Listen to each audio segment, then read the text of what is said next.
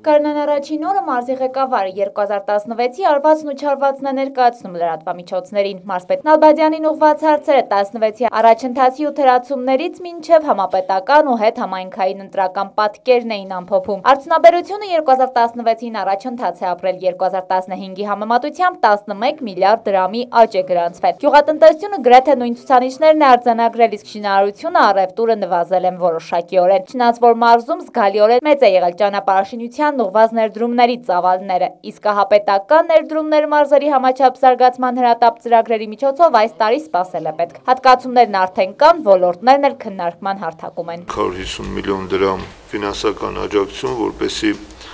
հրատապ ծրագրեր իրականացվեն մարզում, որոշակի չափով արդեն նախնական ծրագրերը պատրաստ են, ուղղակի առաջնահերթությունը տալու ենք այն ծրագրերին, որոնք նախորդ տարիներից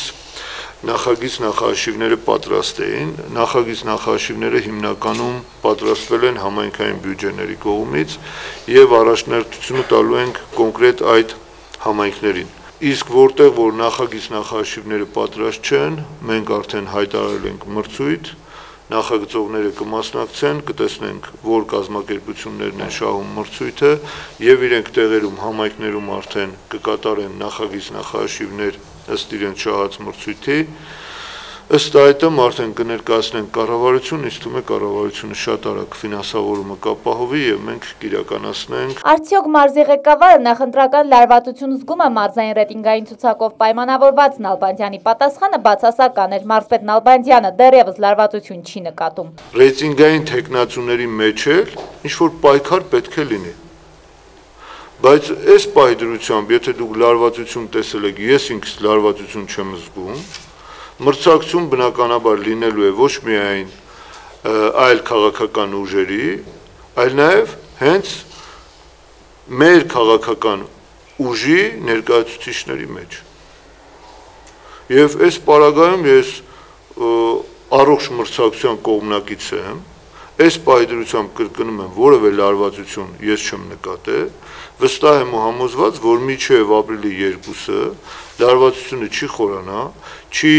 արմատավորվի, որովհետև մենք նաև մտածում ենք, որ ապրիլի ընտրություններից հետո Վանաձորում եւ հատկապես մարզում լինի ավելի առողջ մթնոլորտ, քան մենք պատկերացնում ենք։ Ինչ վերաբերում է Վանաձորի ավականունիստերին, մարզպետը բոլոր դեպքերում կողմնակից է նրան, ինչն արվում է օրենքի սահմանում։ Մոտեցումը հստակ է, իրենք կողմնակից են Վանաձոր քաղաքի կառավարումը դարձնել մասնակցային եւ շահագրգռված են, որպեսի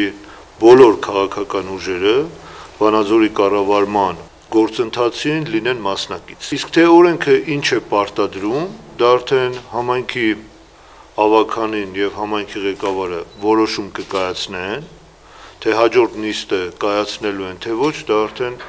հարցը պետք է ուղղեք իրենց։ 2016-ի կատարած աշխատանքների թվում են նաև աղետի հետևանքով բնակապահովման խնդրի լուծման ուղված քայլերը։ Այդուհանդերձ խնդիրն առկա է ու բաց գյուղական համայնքների գծով Մարսպետ Նալբանդյանն ասում է, որ այս ուղղությամբ եւս աշխատանքներ տարվում են։ Շուրջ 225 միլիոն դրամի ծրագիր իրականացրինք 50 ընտանիքի համար մենք նաև Վանաձորի 14 ընտանիքի խնդիրը ամբողջությամբ լուծեցինք բաց է մնացել գյուղական համայնքների 300 մոտ 50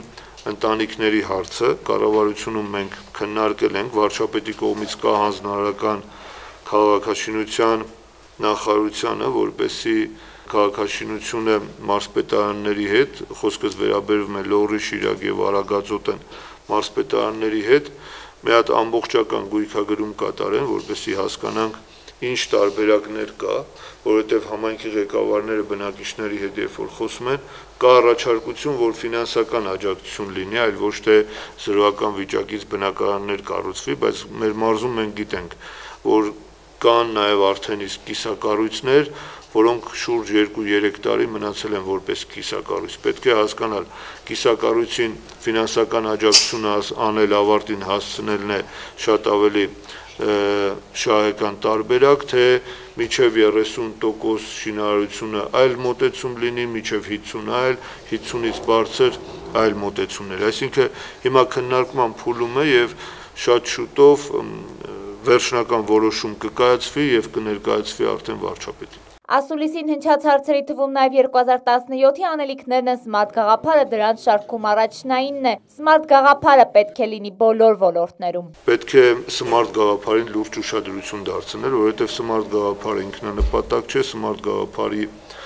նպատակը հիմնական դա մարզի տնտեսության